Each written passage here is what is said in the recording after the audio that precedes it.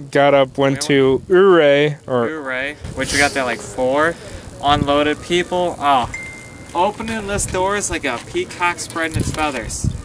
The, they just crowd for miles to come see this. This and this. They were taking pictures of us unloading everything, talking to us, interviewing us. There's so many microphones in our face I couldn't hardly see. uh huh. Three days. It's it's it's exhausting. I'm looking forward to being out on a bus for a little bit. The bus has been the best part about this trip. we don't bash her. Foot to the floor, baby. Uh, you can see it. What is that? 25. The cops are after us. They can't get us. Oh yeah, I guess we can. Look how slow he's going.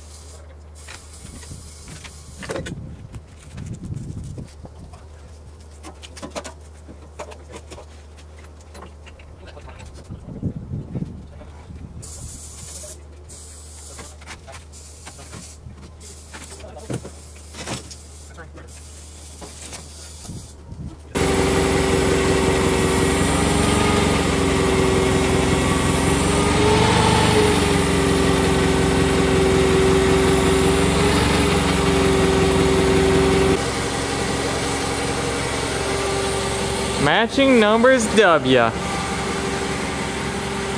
at that.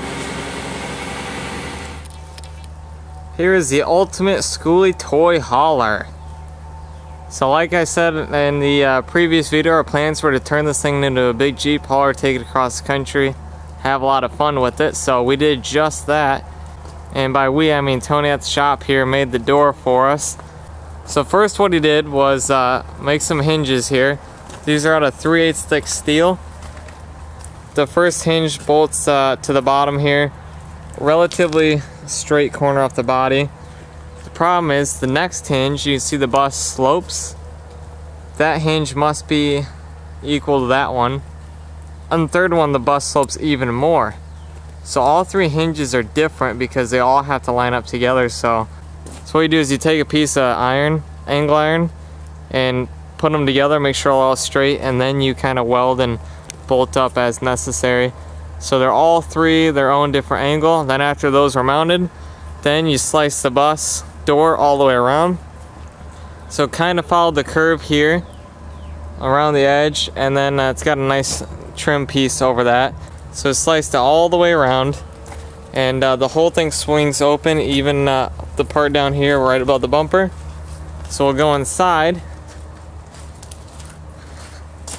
We just got back from our trip a couple days ago and we're kind of cleaning it out now and then uh, the new owner is about to pick it up so we got a little bit of trip things in here still.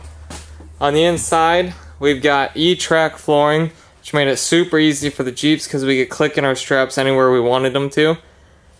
And then another cool thing was that uh, we shortened these wheel humps so the original Thomas uh, wheel wells, I don't know why, but uh, they make them way taller than what's necessary. Right now, the bus is totally bottomed out on the suspension. There's no air in the system, so it's sitting as low as it can possibly go, and it's still not touching these wheel well hump. So it's one solid piece from down all the way up, and then just welded the original sides back onto that, so you could just see the difference in height there. So we did that to both sides. Now this door seals 100%. The reason why it's leaking around the corner here is because uh, someone didn't latch this thing. Here's a good shot of the suspension, totally unloaded. You can see there's no room uh, between the wheel well and the tire. Unlike up front that's got a ton of room. That's because the airbags are 100% deflated. We still got all this clearance for our wheel well, all the way up to here. So the way I bolt in the E-Track, I wanted to do the bolts at about every window seal in between the pillars there. So I'd measure how far off the wheel well hump I could drill the first holes, crawl underneath, make sure there's no cross member or anything underneath, drill it, bolt it, then the next one I measure off the head of the bolt to this, then crawl underneath to make sure the measurement was safe to drill, drill it, bolt it, etc. all the way down all sides. Kind of bummer I can't show you in the video how sealed this thing really is, but it's been pouring down rain all day and we just got a little bit here and then a little bit also over here because this side was not latched. However, on our trip it rained a little bit and we actually slept in here as well. We experienced no rain on the inside. My Jeep was never wet, straps were never wet. So normally none of this is ever wet. So what you do is uh, there's two different hinges on the bottom here. You can see where we cut the uh, bus out and uh, there's a new steel frame on the inside which I'll show you. The bus is also cut on on this side. So it's got simple latches. You just undo that. And you see just how loose it is without the latches on. That's why it leaked. This here. And then all you do is just take one hand and you push her open. It is freaking awesome. So you come down here. Now our trailer wiring, we had another shot make it and uh, I don't think they realized how far the door swung open so the wires can get caught if you're not careful but uh, just swings open like that. So now you kind of see a bit better of how uh, the door was cut. And then this frame was added all the way around the inside of the door and that's what this weather strip seals to. So it keeps it nice and sealed.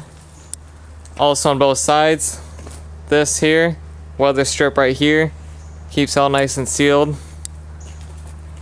And then the bottom of the bus is cut along that edge. And we have the original door. So this is cool because you got the original windows, the original lights, and truly the value of the bus. I mean, it looks way better with the original door on here than uh, if it did not have it. Now this thing's very versatile. You can push this all the way around to the other side of the bus if you truly wanted to. Just gotta, I could snip that wiring and pull it out a little further, but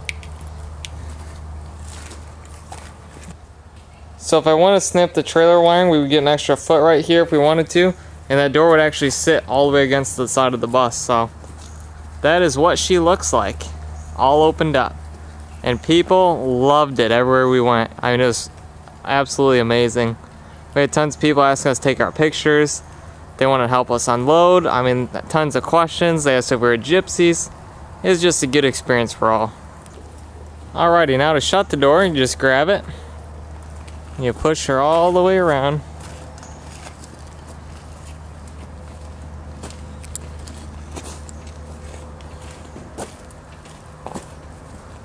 I'm gonna come over here and check my trailer wiring. Now, like I said, this is all wiring for the trailer. The actual bus wiring is in the door and it would never uh, get pinched. That's just because we had the trailer hitch right there. So do this. You're gonna give a little firm push. Just like that. Alrighty, now from the inside you got your door pushed. So just take these latches, like so.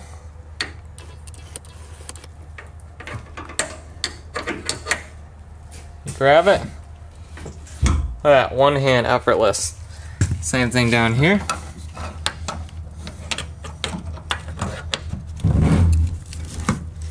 effortless. Now here's the coolest part about the whole thing. Open that bad boy up. Still works. That's not awesome, I don't know what is. This was definitely a pretty sweet bus. Uh, I'm really glad we had the experience to use it. And uh, we actually had the thing pre-sold before we even left on our trip. Uh, local guy really liked it, wanted to buy it, and uh, did not mind having the conversion on it. So I guess the last little showcase here of uh, modifications for the trip, we used uh, two chairs out of a like a conversion van, and I welded up these uh, brackets right here that go down to the floor bolt through grade 8 bolts. So you got one here, one here, then between the seats I wired up a power inverter. This is a pretty big one. And uh, ran the wires right through the floor there and actually have it hooked up to the battery shut off switch so when that shut off, the inverter shut off. So we were able to run a little fan off of it. Uh, right down here you could charge your cell phone. I mean pretty much everything. You can reach it from the driver's seat. You were close enough that you had a companion while you're driving, but far enough that you had your own personal space, so that was really cool, especially on a week and a half long adventure. So there she is. There's bus number 58 of Warsaw School signing out.